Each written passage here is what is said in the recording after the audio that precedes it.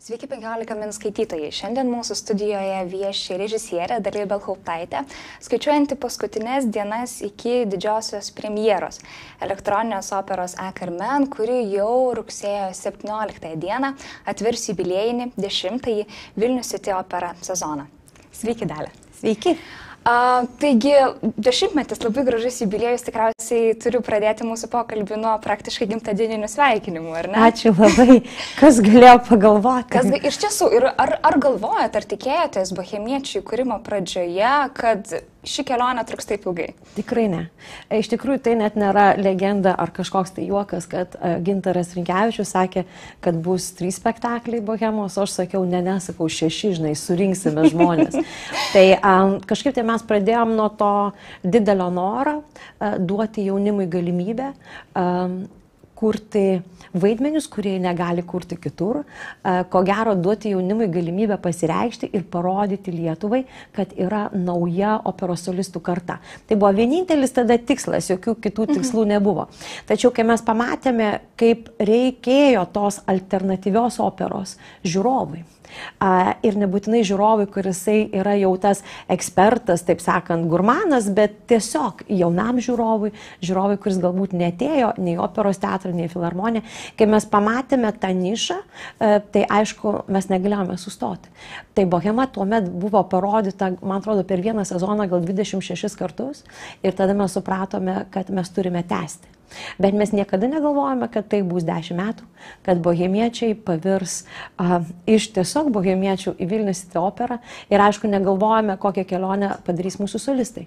Nes a, dabar jau kalbėti apie tuos pirmuosius, kurie pradėjo Edgaras Montrudas, Asmi Grigorian, Laimonas Pautienas, tai yra tarptautinės klasės operos, na, sakyčiau, mohikanai, jau tikrai žvaigždės, jeigu taip kalbėti.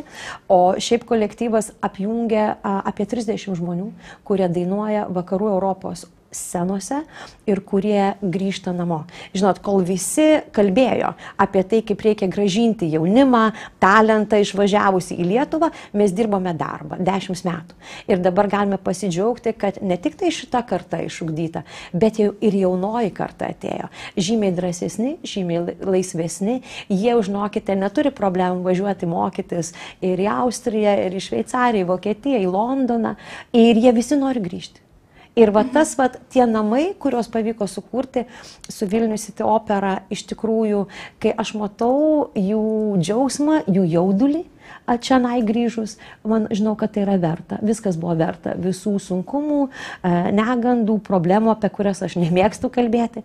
Man visą mhm. laiką norisi kalbėti pozityviai. E, viskas buvo verta. Ir manau, žiūrovas tas pats, e, nes kai mes pradėjome iš viso Lietuvoje su Juozu Statkevičium ir Gintaru Rinkevičium jau dabar prieš 15 metų, tai opera buvo tokia, sakyčiau, nu, užsistovėjusi, tokia ko gero dar pasilikusi tame labai klasikinėme laikė. Žanrą reikėjo keisti, vakarų Europoje jį jau visi keitė, vakarų Europoje į operą atėjo kino režisieriai, atėjo teatro režisieriai, aš pati esu teatro režisierius, nu, iš ten mhm. išėjusi. Tai a, nesinorėjo, kad Lietuva atsiliktų. Ir dabar galima labai pasidžiaugti, kad pas mus yra labai jaunas žiūrovas, labai entuziastingas žiūrovas, labai įvairia planė žiūrovas. Nuo, saky, kaip sakyti, pačio, nu, neturtingiausio žmogaus iki to, kuris gali sauliaisti, nuo jauno žmogaus iki pagyvenusio žmogaus. Juk jaunystė nėra metai, jaunystė yra širdis. Aš, pavyzdžiui, vis iki šiol galvoju, kad man 25. Mhm. Tai, va. Supratau, labai teisingai, jūs esate visiškai teisi. Gerai, sugrįžkime prie E-Carmen, jūsų iš tiesų išskirtinės sezono pradžios. Visų pirma, kodėl Carmen, kodėl jums buvo įdomus šis kūrinys? Žinot, Carmen aš norėjau pastatyti senai. E, man yra labai įdomus tas, kaip mes visuomenė mėgstam vadinti, fatališkos moters tipažas, mhm. reiškia, kad jinai tokia vat užsispyrusi, žino, ko nori, si, visko siekia, ko nori, jinai emociškai nepriklauso nuo, nuo, nuo, nuo niekieno. Um, atrodo šalta, žmonės mėgsta ją vadinti ledinę, žmonės mėgsta ją vadinti, o jinai kaip robotas, kaip mašina. Um, iš tikrųjų taip nėra. Um, tos moteris turi nepaprastai didelį jausmų spektrą. Uh, jos tikriausiai gal daugiau žino, e, ko jos nori ir jos žino, e, kaip pasakyti, jos laisvę myli labiau už bet kokias kitas a, priklausomybės. A, nuo darbų, nuo emocijų, nuo problemų. Ta laisvė, vidinė laisvė, nu, joms yra labai svarbi. Man atrodo, tai yra šio laikinė moteris. Nu, man mhm. atrodo, va, tai yra būtent 21 amžiaus ta moteris, kuri a, turi žymiai daugiau vaidmenų negu tik tai vieną a, geros žmonos vaidmenį, pavyzdžiui. Tai šitoje vietoje man Karmen visą laiką buvo įdomu kaip personažas, kas jinai yra tokia. Uh, parodyti jos santykiai su vyrais, parodyti jos santykiai uh, su meile, su uh, ryšiais. Um, ir pasitaikė proga aš galvojau po XYZ 2010 mhm. metais, kai XYZ, e, kuris buvo arijų rinkinys, e, pavyko projektas. E, netikėjau, jis buvo parodytas 46 atrodo kartus. Ir aš galvoju, taip, reikia sukurti vientisą elektroninį darbą, vientisą siužetą, nes buvo žiūrovas tam ir buvo galimybės tam. Ir net nekilo klausimas, kodėl Karmen, nes nu, Karmen ar taip ar taip norėjau, mhm. o be to siužetas Karmen pasiduoda labai dideliam interpretacijom. Jeigu jūs pasižiūrėtumėt istoriją muzikos, Karmen buvo ir baletas, ir simfoninė siuita, ir tenai spektakliai, ir muziklai, ir, kaž... ir labai daug interpretacijų. Galbūt dėl to, kad originalus kūrinys parašytas su dramatiniais tekstais. Kaip čia yra ir pusiau teatras, pusiau opera. Tai yra daugiausia laisvės interpretuoti jį. Ir aišku, aš visada norėjau padaryti su Mariu Domaičiu. E, aš turėjau tą patirtį, dirbdama su juo prie Grigzeto. Ir, žinot, šito darbo net ir geriausias pasaulyje elektronikas negalėtų imtis be klasikinės muzikos žinių ir be supratimo būtent tos klasikinės struktūros, kad jis galėtų tuomet ją paversti kažkuo kitu. Marius turėjo šitas dvi savybės. Jisai elektronikoje number one ir jisai turi 12 metų klasikinės muzikos išsilavinimą, pasgrojęs ten įvairiausiais instrumentais. Tai tada buvo tik laiko klausimas. Laiko klausimas, kiekgi laiko iš tiesų užtruko sukurti e-karmen tą rezultatą, kurį mes Aš žinote, aš kaip visą laiką entuziastas pozityvas, galvoju, kad mhm. viskas turi vykti greitai. Tai aš savo galvoju, nu pusę metų, tai jau čia tikrai jau čia. Apšiai apšiai jo. Ir kuo viskas baigėsi, kad po pusę metų aš supratau, kad Marius turi tik gal 40 minučių muzikos. Buvo labai aišku, kad pilnas metras, pilnas siužetas turi būti mažiausiai pusantros valandos. Ir mes dramatiškai susėdam, kur aš ilgai mojavau rankomis ir jam pasakau, kad čia yra teatras ir 40 minučių negana ir kažkaip per tokie gabaliukai, kad jie yra genialūs, bet kad tai turi būti vientisa. Tada Marius labai emocingai man šaukė, tu, ar tu supranti, kas yra pusantros valandos nenutrūkstamos muzikos? Sakau, taip, aš suprantu, kas yra net keturios valandos. Va, ir viskas baigėsi tuo, kad a, iš tikrųjų jam jam reikėjo daugiau laiko ir jam reikėjo pagalbos žmogaus, kuris galės ištransliuoti visą tai, ką jisai rašo, į klasikinės muzikos formą, kad galėtų mhm. ir solistai, ir instrumentalistai veikti šitą uždavinį.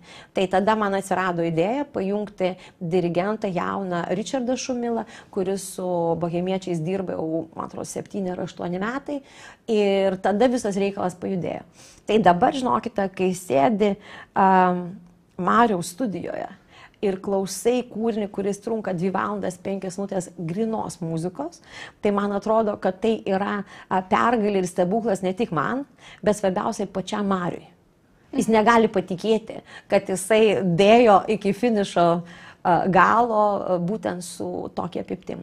Nes mhm. iš tikrųjų valdyti e, siužetą, valdyti tokį ilgą kūrinį ir tą apimti, tai nėra labai paprasta. Čia tau ne vienas, ne du ir net ne trys hitai. Mhm.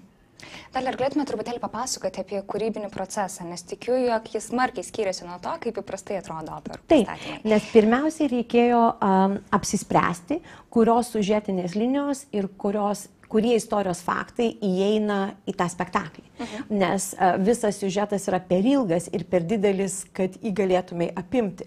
Taip pat nesinorėjo apkrauti labai daug tekstinės informacijos, Nes visgi mes viską darome originalo kalba, prancūzų kalba, tai dėl to reikėjo būti labai selektyviu. Tai šitoje vietoje aš pasidariau labai griežtą sistemą, e, kaip mes pasakosime siužetą, e, pasidariau sistemą, kokios scenos ten turi eiti, kokie faktai turi eiti. Ir mes tuomet atrinkome su Richardu Mariu būtent tuos faktus ir tą siužetą, pagal kurį jisai turėjo dirbti. E, tada aš jam išrinkau, mano galva, vieną iš geriausių įrašų, e, reiškia, Belino filharmonikoje, beje, ir mūsų Kostas Moriginas dainuoja Skamilio. Mhm. Aš jam daviau šitą įrašą, sakau, va čia originalas, va čia mūsų siužetas ir tipo good luck, good night. reiškia, ir jisai dirbo uh, iš to. Mes periodiškai sustikinėdavom, klausydavom, kas yra parašyta, komentuodavomės, kažką tai keisdavome ir jisai dirbo su Richardu tada jau, kad visą tai uh, versti į bent kažkiek suprantamą uh, kalbą. Uh, kai aš gavau uh, natas, padarytas, jau kad pradėti ruoštis repeticijom, mane ištiko apopleksija. Pirmiausiai, va visą tą krūvą natų, aš esu savim turiu tašę, kokie yra 5-6 kg popieriaus.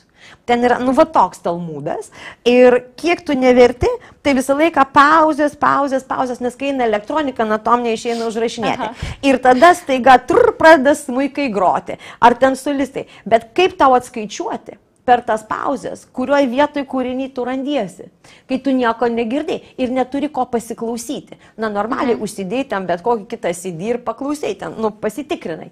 Pasiruošimas pasidarė iš vis neįmanomas. O kaip paaiškinti šviesų dailininkui ar tenais video projekcijų dailininkui, kurio čia vietoje jis randasi ir ką jam daryti reikia, kai žinai, jisai tik daug pauzių turi ir 6 kg popierių. Uh, tai reikėjo mums sukurti su Richardu sistemą, uh, visą kad mes skaičiuojame ne pagal natas, mes skaičiuojame pagal sekundės. Ir mes tiksliai žinome pagal sekundės. Ir mes turime stebėti kompiuterio ekrane, kaip visos tos linijos Mario sukurtos. O jūs žinokite, iki šimto yra. Jos taip džiugiai važiuoja ten. Jos garso takeliai tikriausiai. Taip, bet ten, žinokit, ten, ten, ten yra, kaip aš nežinau, ten matyt, kaip a, reanimacijoje būna tokie aparatai. Ir tada šitą visą važiuoja, reiškia, sistema. Ir tu maždaug matai, kurioje vietoje a, tu randiesi. Mhm. Ir aš dar prašiau, kad ten skirtingom spalvom pažymėtų. Nu, tipo, kiekvieną personažą, nu, nes kad aš galėčiau paprastai. Tai, tai procesas yra labai nepa, neįprastas. Lygiai taip, um, čia yra stebuklas, kad mes suradome solistus, kurie šitą ne tik gali atlikti, bet ir nori atlikti. Mhm. Nes um, Justina Gringytė, žinot, uh, Justina yra atlikusi visokias versijas Karmen. Jis iš tikrųjų už Karmen yra gavusi juk šitą apdovanojimą pernai. E, geriausia metų soliste, kaip ir vadinamosi Londone operų Oskaruose. E, tai jinai turi nerealią patirtį ir aš galvoju, kai aš jai papasakosiu apie šitą projektą, jis bus katastrofa. Nu, katastrofa, jinai nesutiks. Ir man buvo labai didelė dovana, kad Justina nuo pirmų akordų labai užsidegė, ją labai patiko muzika, uh, jinai absoliučiai, kaip pati vakar sakė, įsimylėjo į Marijos muziką ir buvo labai didelė iš tos kūrybos dalis. Tai jinai atskrisdavo, atvažiuodavo, pabūdavo studijoje, su juo dirbo, jie keitėsi elektroniniam versijom šitų dalykų. Labai svarbu, kai solistas jaučiasi, kad jis yra taip pat kūrėjas. Ir dėl ko, pavyzdžiui, šitie solistai, man atrodo, dalyvauja šitam projekte, nes jie kiekvienas yra kūrėjas. Paprastai operoje, žinai, yra natos, yra mhm. kūrinys prieš 200 metų parašyta ir tavo uždavinys yra jį idealiai atlikti atlikti. Bet tu nieko naujo tame sukurti, nu, pakeisti negali. O čia nais jie buvo kuriejai, jie keičia, dalyvauja, jie viską daro. Tai, kad mes turėjome Justiną, kuri Karmen ruošia, tai buvo didelė dovana. O tenoras tai iš vis e, nukrito iš lubų kaip e, kalėdų senelis, nes aš jums nemoku pasakyti, kiek tenorų atsisakė dainuoti šitą partiją. Dėl kokių priežasčių atsisakė? Bet vaizdelis buvo toks. Žinot, mes dirbame jau dabar su didelėmis tarptautinėmis agentūromis, uh mhm. -huh. kaip Askonas Holt Londone, kaip Zemski Green New York'e. Tai yra pačios didžiausios agentūros, kurios turi didžiausius pasaulio solistus. Bet kadangi jų solistai yra jau dirbę su mumis ir išvažiuoja visą laiką su labai gerais įspūdžiais, plus Asmi Grigorian, reiškia Kostas Moriginas, Jurgita Damuntė priklauso tom agentūrom. Tai kaip ir mes mes turime tuos darbinius ryšius. Tai mes visą laiką, jeigu mums reikia solistų, juos kontaktuojam ir jie visą laiką padeda, e, ką jie turi. Dabar čia nais mes skambinam, kokie tenorai laisvi tam periodui. Ir žinokit, visai nemažai dar buvo laisvų. Na ir mes jiem rašom, ar jūs norėtume sudalyvauti eksperimentingai. Taip norėtume, atsiųskite natas. Pasiunčiam natas.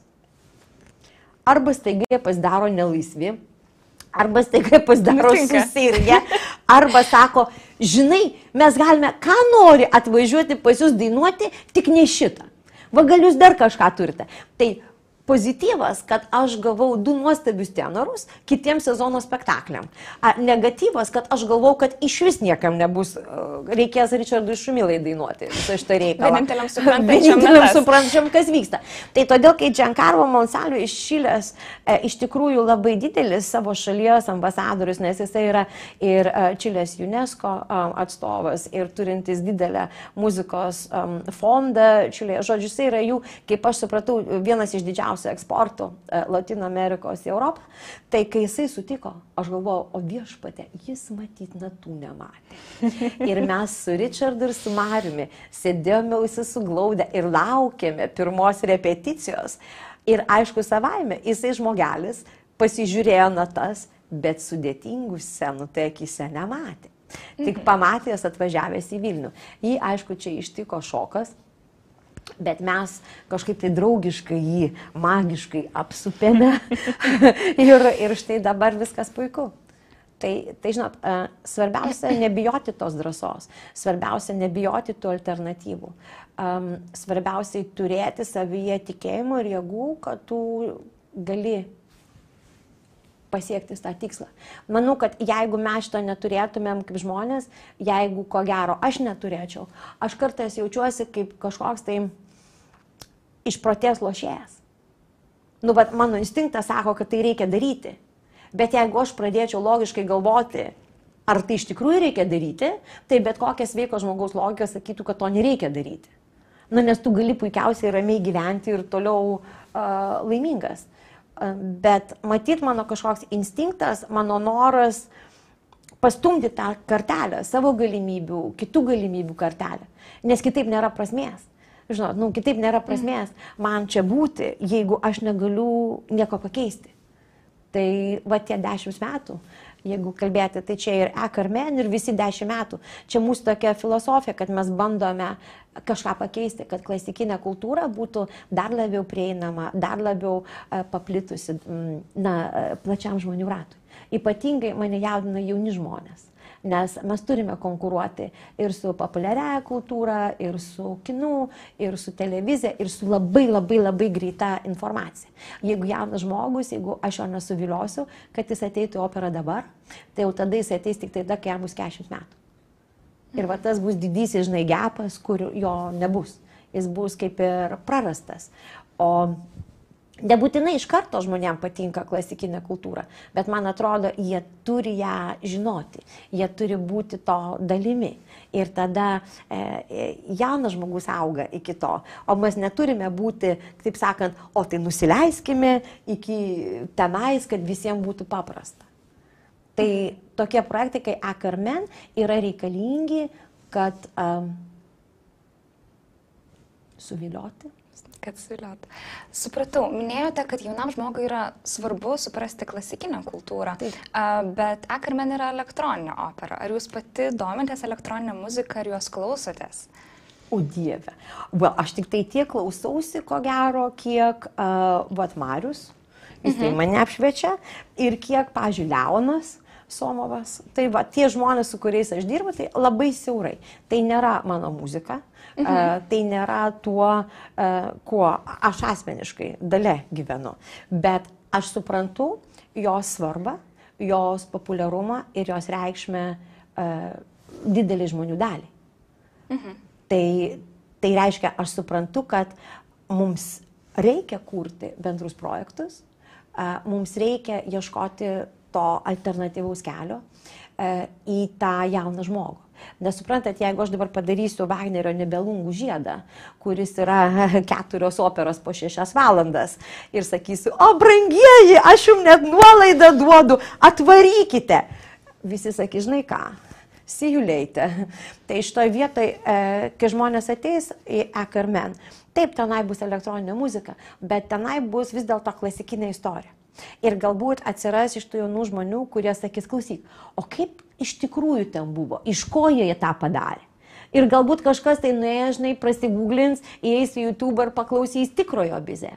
Mhm. Tada galbūt kažkas tai galvos, o šitas kolektyvas, šitie solistai, jie tikrai cool. Įdomu, ką jie dar daro. Ir tada tie žmonės ateis į mūsų kitus darbus kur jau yra kongresų rūmose, kur yra mūsų klasikiniai pastatymai. Nes e, šitą efektą mes turėjome su svinių todu.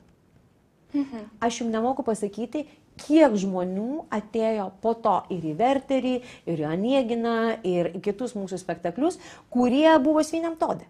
Tu net gali matyti, nu, visiškai, kad tie žmonės yra, nu, labai kitokie. Ir su sviniu todu buvo dar įdomiau, nes dabar jis jau eina septyni metai. Ir kai mes rodėme va žiemą svinį todą, dabar jaunimas, kuris jau užaugo ir turi vaikučių, kuriem dabar, žinai, po kokias 80 metų, kadangi jie patys kaifavo prieš 7 metus, o jų vaikai dar buvo labai maži, jie dabar visi atsiveda savo vaikus. Jie neturi problemų. Na, jie norėjo, kad ir tą labai jau, gan jauni žmonės tai pamatytų. Tai man tai yra didžiausias komplimentas, man tai yra didžiausia dovana. Nes mes turime labai platų spektrą spektaklių, pavyzdžiui, šitą dešimtąjį sezoną. Ir um, manau, kad tai parodo kolektyvo gebėjimą dirbti labai įvairiuose nu, plotmėse. Nes nuo Ekermen už trijų savaičių, spalio 5-9 dieną, mes rodome Verdžio trubadūrą, kuris jau yra e, klasiškiak kaip didžiausia klasika ir Verdis mhm. populiarus Lietuvo, iš viso Pučinis ir Verdis, tai man atrodo kaip nacionaliniai kompozitoriai mūsų. Mes juos labai mylime. Va, um, tai yra mūsų galbūt vizualiai toks jau vienas iš įspūdingesnių pastatymų trubadūras ir kuris reikalauja labai didelio dainavimo. Mes negalėjom šito pastatymo daryti aštuonis metus nuo pačios pradžios, nes mūsų solistai nebūtų gebėję atlikti tų partijų. O dabar um, būti spektaklį ir matyti, kaip Laimonas Putienius, Asmi Grigorian, Jovita Vaškevičiūtė, Tadas Girnikas, kaip mūsų jaunimas yra profesionaliai išaugęs kad jie gali atlikti tas partijas, kurias dar pats Karuzas kažkada sakė, kad šitam pastatymui, e, nu, e, trubadūro reikia keturių geriausių pasaulyje balsų e, pagal sudėtingumą partijų. Tai, kad, um, nu, gali mūsiškiai tai atlikti, tai yra fantastika. Ir tada eina pas mus Toska gruodžio pradžioje. Vėlgi mūsų naujausia premjera, bet tai yra vėl labai e, klasikinis darbas su šiuolaikiniais elementais, nes aš jau perkėjau ją į fašistinę Italiją. Mhm. E, toksai gan, e, ką žinau, aštrus galbūt pastatymas. O mūsų klasikinė didžioji sezono jubiliejinio premjera, mūsų apvainikavimas visos veiklos iki šioliai bus Guno Faustas su Edgaru mhm. Montvedu vasario 15 dieną. Bet taip pat mes rodysime ir operą, kaip aš sakau, muzikos gurmanams, tai Pelėjus ir Melisanda debiusiai ir dar Manon Lesko. Tai vad visas mūsų spektras, kad atšvesti tą mūsų dešimtąjį gimtadienį. Kad parodyti, ką mes galime. Mhm. Labai spūdinga. Ir pradedat nuo A. Carmen. Pakalbėkime, Taip kiekgi uh, originalaus bizė kūrinio išliko, uh, na, ką apskritai išgirs atėję klausytojai rugsėjo 17 dieną? Žinot, um, aš labai dabar bijočiau teikti procentai suskaičiuoti, kiek išliko bizė ir kiek neišliko. Manau, kad bizė buvo įkvėpimas. Mhm. Bizė muzika buvo Mario įkvėpimas. Yra išlikę nemažai pan atpažįstamų melodijų, gal jos truputį kitaip interpretuotos ir truputį kitaip skamba, bet jos išlikusios daugmaž tu gali atpažinti. Išlikusi tekstinė ritmika, bet pakeista daug melodijų, to irgi yra. Ir aišku, yra parašyta visai nauja muzika. Šioje vietoje tai nereiškia, turiu įspėti visus klasikinės muzikos mylėtojus. Nebijokite, šoko negausite, nebus taip, kad dvi valandas bus elektronika ir nieko daugiau. Ne, Marius naudoja labai daug stilių. Jisai naudoja ir tą new jazzą, jisai naudoja ir soul, jisai naudoja, aišku, ir elektroniką. Ir jisai turi ir klasikinių elementų. Tai gan